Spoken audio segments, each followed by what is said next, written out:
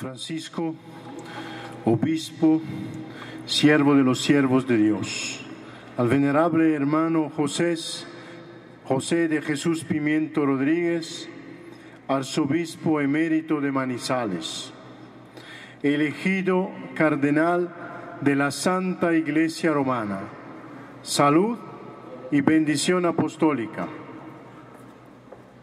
Habiendo conocido que tú, venerable hermano, eres, estás adornado de dotes preclaras y de grandes méritos en la Iglesia Católica, por nuestra autoridad apostólica hemos decidido cooptarte en el número del Colegio de los Padres Cardenales en este consistorio.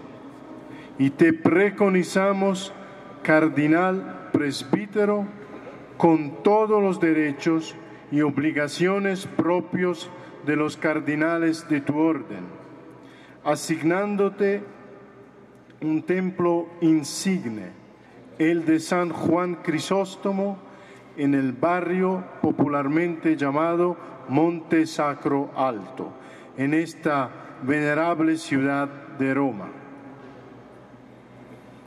Al rector de dicha iglesia, al clero y a todos los que pertenecen a esa iglesia, los exhortamos paternalmente para que con ocasión de tu posesión de esa iglesia te reciban con muy alegre ánimo y te traten con mucho afecto.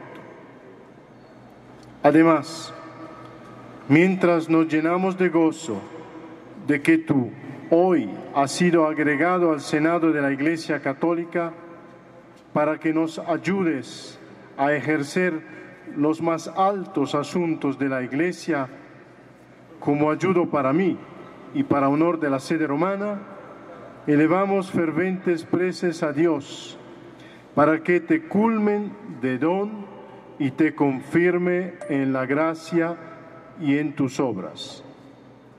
Dado en Roma, en San Pedro el 4 de febrero de 2015, segundo año de nuestro pontificado.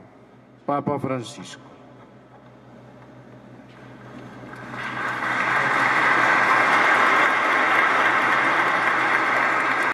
Querido hermano, en la presencia del sagrado pueblo de Dios, te invito a que ahora profeses tu fe en el Dios Trino y tu fidelidad a la Iglesia Santa Católica. Creo y profeso todas y cada una de las verdades que se contiene en el símbolo de, fe a saber.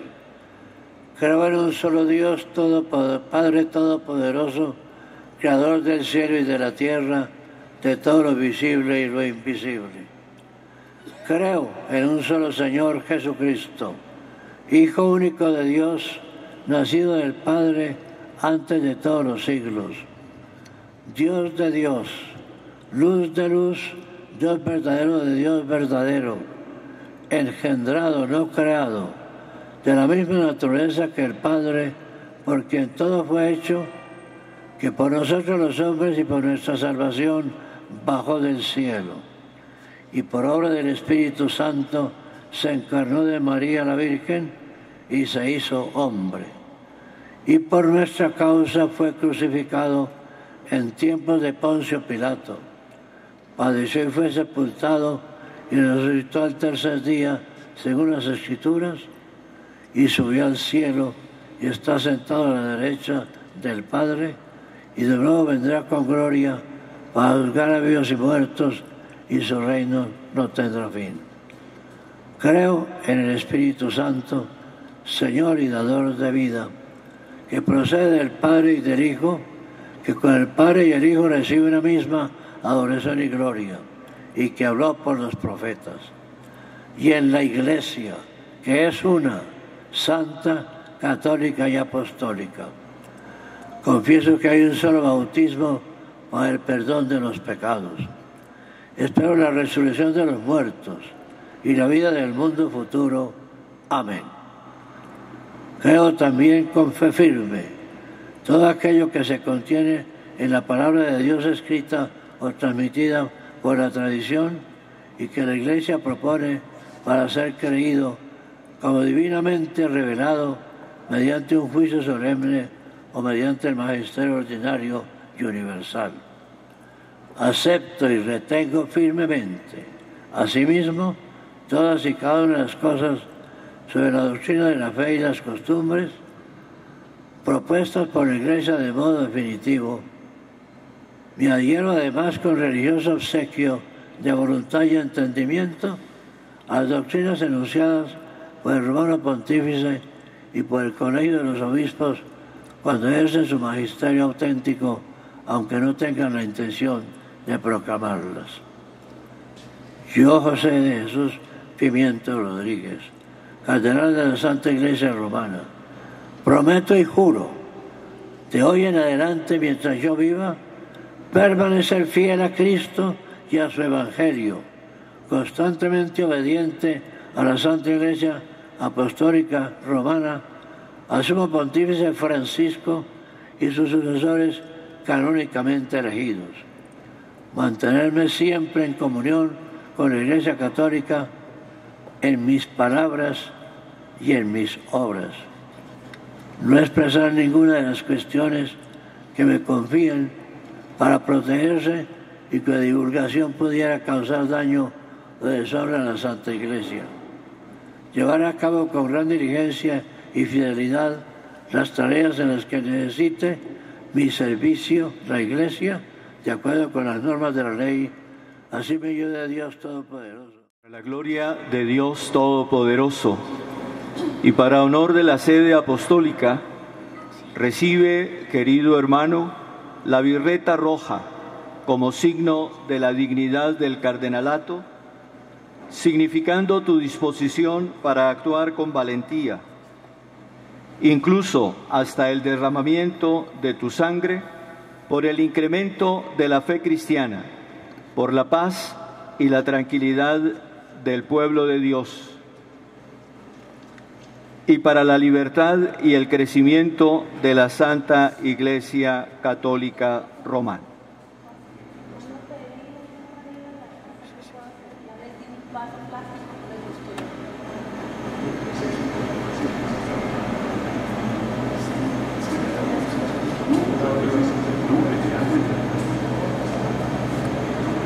Recibe el anillo de la mano de Pedro y sabe que tu amor por la iglesia se ve reforzado por el amor del príncipe de los apóstoles. Amén.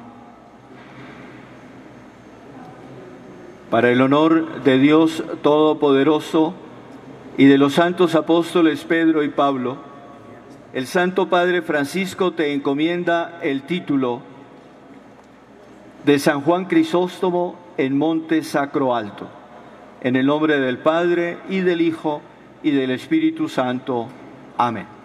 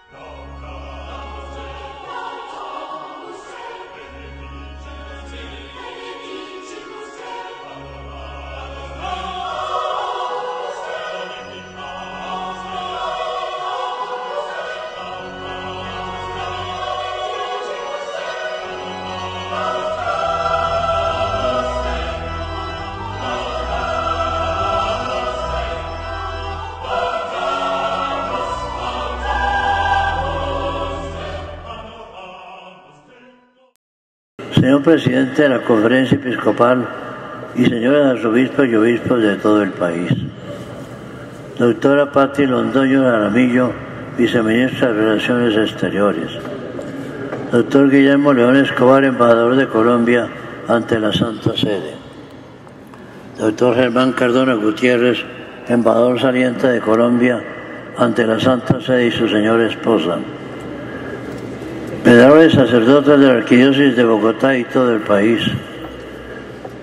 Amados religiosos y religiosas, muy queridos hermanos y hermanas en el Señor.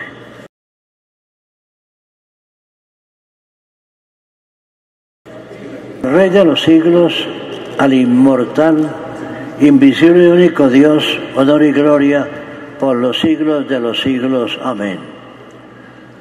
Así estoy sintiendo y contemplando esta maravillosa, asamblea eclesial, festiva y en acción de gracias, en que están presentes todas las calidades de creyentes para reconocer que el único motivo de mi nueva vocación, con resonancias de universalidad, es la sola gloria y honor debidos a la Trinidad Suprema, sabia, santa y poderosa.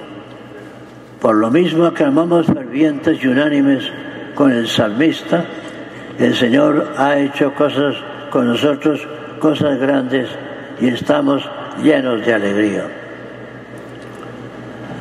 ¿Por qué la designación de cardenal para mí? No para mi honor que no he merecido, sino vocación para sostener más intensamente al sumo pontífice en su servicio apostólico, como me lo dice en preciosa carta autógrafa. En la locución del ángel del 4 de enero, el Santo Padre indicó que se trataba de méritos que se han destacado por su caridad pastoral en el servicio a la Santa Sede y a la Iglesia. Ellos representan a muchos obispos que con la misma solicitud de pastores dieron testimonio de amor a Cristo y al pueblo de Dios.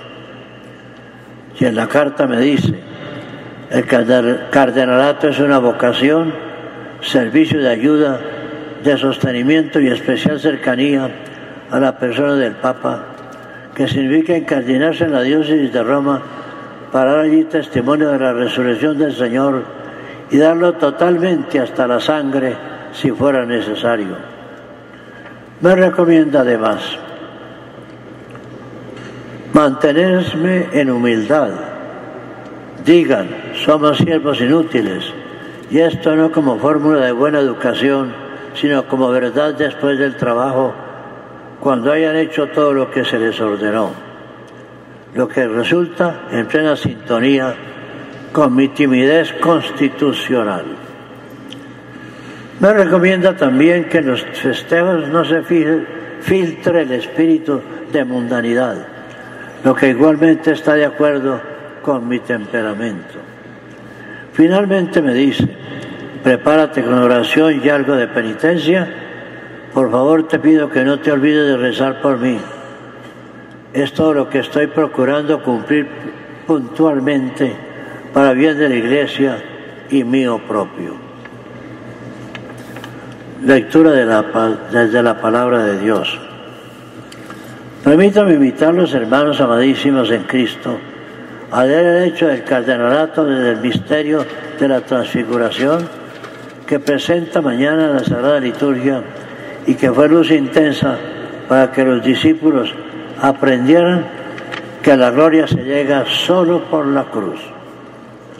Para nosotros es misterio que debemos vivir y aplicar en toda su profundidad, por cuanto nos conduce a comprender que el bautismo no nos tiene simplemente, no nos hizo simplemente seres piadosos, sino que transformó radicalmente la mentalidad y los actos todos, al constituirnos en la dignidad insuperable de hijos verdaderos de Dios, con cambios radicales profundos, no automáticos, sino en proceso continuo libre pero exigente de conversión hasta alcanzar estilo y calidad divinos como verdaderos hijos en seguimiento del Hijo de las complacencias y con vocación para transformar el mundo que está en nuestras manos para salvar o perder. El cristiano nunca está hecho cristiano, sino que es siempre discípulo, es decir, aprendiz permanente del ser y hacer cristiano.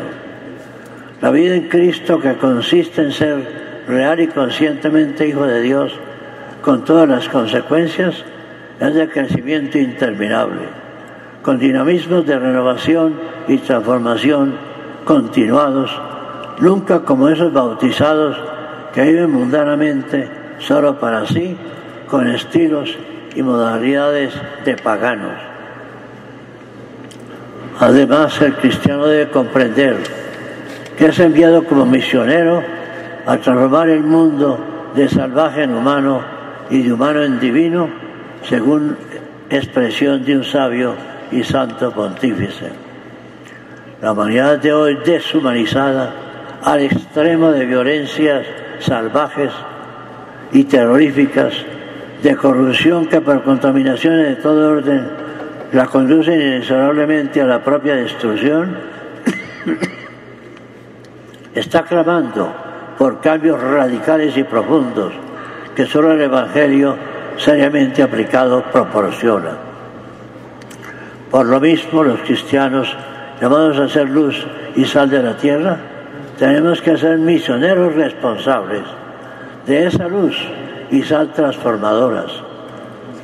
La crisis profunda de humanidad están denunciando que no hemos dado la medida indispensable mientras el sumo pontífice Francisco está clamando y reclamando que nos pongamos a la altura y tono con las necesidades históricas de la hora.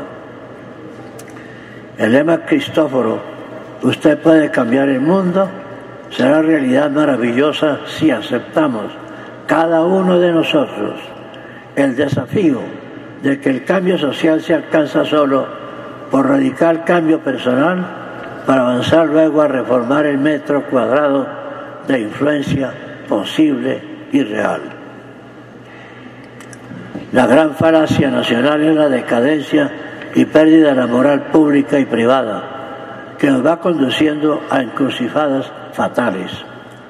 Recuperar meridiana conciencia de tal realidad y emprender por todos y cada uno decisiones firmes y poderosas para recuperar esos valores esenciales y fundamentales es el camino real que nos ofrece la luz del misterio de la transfiguración del Señor. De otro modo, no podremos alcanzar para Colombia una paz sostenible. Vocaciones especiales.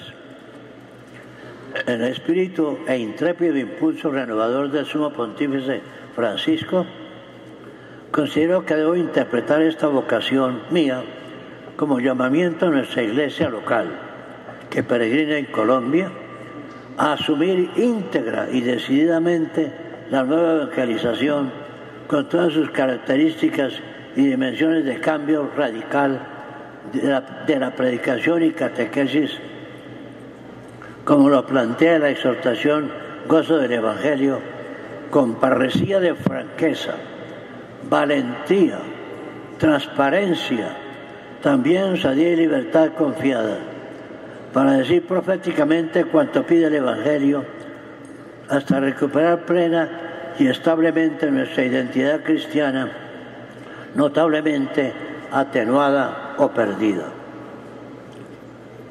A la par entiendo el hecho de otro cardenal como llamado a Colombia, para que no sea sociológicamente nación en que prevalecen la violencia de todas las dimensiones y matices, la corrupción administrativa grande y generalizada, junto con gravísima inequidad social, sino que emprenda ya y decididamente la construcción de una patria grande y digna, con futuro y progreso sostenibles.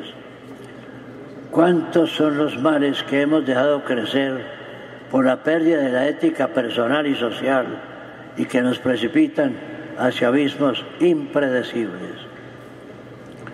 Concertando voluntades, tenemos que emprender todos y cada uno de los colombianos, comenzando por sus dirigentes políticos, económicos y sociales, la recuperación de los valores esenciales hasta alejar toda violencia, toda corrupción y terminar legítima y decididamente el flagelo insensato y absolutamente inmoral del narcotráfico con propósito invencible de asegurar la paz y el progreso moral y social sostenibles. Cuando el sumo pontífice reiteradamente se refiere a la paz de Colombia, piensa sobre todo en la paz de Cristo, el príncipe de la paz, que nos aseguró felizmente, la paz os dejo, mi paz os doy, no os la doy como la da el mundo. Exige por consiguiente que todos los colombianos, especialmente los dirigentes de todo nivel, asumamos la inmediata, decidida y valerosa recuperación de los valores éticos, políticos, económicos y sociales que se han perdido por las decadencias e inercias que, que connotados líderes de la humanidad han denunciado en términos como la corrupción es en sí misma un proceso de muerte y un mal más grande que el pecado, un mal que más que perdonar hay que sanar. Papa Francisco. Nuestra generación no se habrá lamentado tanto de los crímenes de los perversos como el estremecedor silencio de los bondadosos. No me preocupa el grito de los violentos, de los deshonestos, de los cinética. Lo que más me preocupa es el silencio de los buenos. Luther King.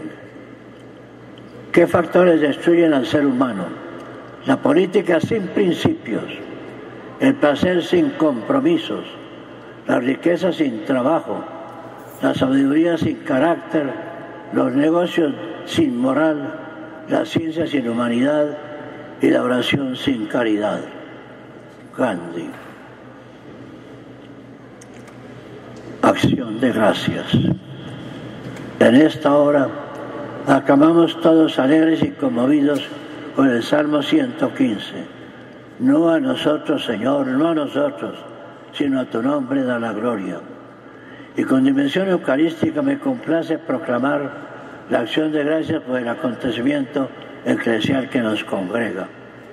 En primer término a Dios, siempre autor de todo bien, que en sus inagotables misericordias, con mi insignificancia, suma ahora nueva gracia, participando en un destello de su infinita gloria. La actitud inmensa sumo pontífice Francisco, que en las, en sorpresas de su munificencia para con los pequeños y, débiles, me escoge como un símbolo más de su exquisita y grande caridad. Fervoroso reconocimiento al eminentísimo señor cardenal Rubén Salazar Gómez, quien se digna acogerme en su catedral primada para esta fiesta del Espíritu y me ha regalado magníficamente de organización y atenciones insuperables. Admiración y fervientes gracias al excelentísimo señor nuncio apostólico Monseñor Torre Balestrero, quien ha sido guía y apoyo admirables e insustituibles en esta mi peregrinación de honor. Y como los dones, gracias y carismas no son patrimonio del inmediato beneficiado, sino comunicables y para compartir en la comunión de los santos, esta gracia corresponde al episcopado colombiano como fiel reconocimiento de sus altas calidades, que al hacerme beneficiario de ellas en mi modesto ministerio pastoral, me enseñó a servir la causa del reino de Dios en el fiel cumplimiento del deber pastoral. También a mi iglesia de origen y a las que fui llamado a prolongados y gratos servicios apostólicos, por cuanto me marcaron con sus virtudes sacramentales que dieron tono de fe, amor y esperanza a mi limitada existencia. A mi pacha Colombia, entrañablemente amada por la ciudadanía con que me ha favorecido para crecer y progresar, para gozar con sus éxitos y para asimilar el dolor de sus problemas y conflictos. Para las honorables autoridades civiles judiciales, militares y de policía que haciéndose presentes representan los valores básicos del Estado. a mi pueblo natal, Zapatoca, que aunque pequeño y olvidado, me concedió ecología sana y distinguida con el signo de ciudad levítica y que ahora me califica como símbolo de sus virtudes, sueños y esperanzas. A las feligresías de las comunidades católicas con las que he vivido la fe y han impreso en mi modesta en mi modestia el ser y existir cristiano. Para mis familiares, padres y parientes de múltiples grados, algunos ya en la paz eterna, quienes con el sentido profundo de la vida han sido mi apoyo y mi estímulo insuperable para cumplir la misión que se me ha confiado. A quienes me acompañan en esta celebración de presencia grande y gracias divinas, y a cuantos con sus mensajes y congratulaciones me han estimulado y confortado para llevar la cruz del gran honor. A cuantos a distancia y por impedimentos múltiples siguen solo espiritualmente esta Eucaristía y acción de gracias, llega también el destello de la acción amorosa de Dios. Todo sea solo para gloria y honor de Cristo, sumo y eterno sacerdote, quien al configurarme para obrar en persona suya, ha sido vida de mi pobre vida, como también para glorificación de su Madre mía Santísima, que siempre ha cubierto de ternura, de ternura sentida mi frágil existencia.